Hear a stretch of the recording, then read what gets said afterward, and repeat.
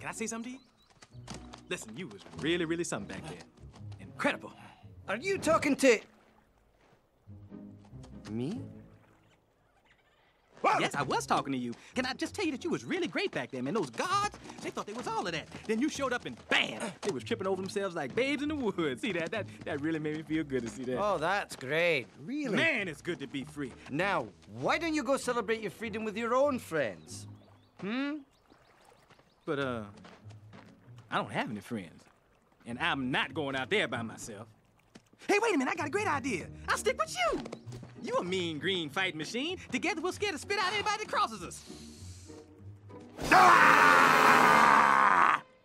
Oh, wow. That was really scary. And if you don't mind me saying, if that don't work, your breath certainly will get the job done, cause you definitely need some Tic Tacs or something, cause your breath stinks. Man, you almost burned the hair out my nose. Just like the time. And then I ate some rotten berries. Man, I had some strong gases eking out of my butt that day. Why are you following me? I'll tell you why.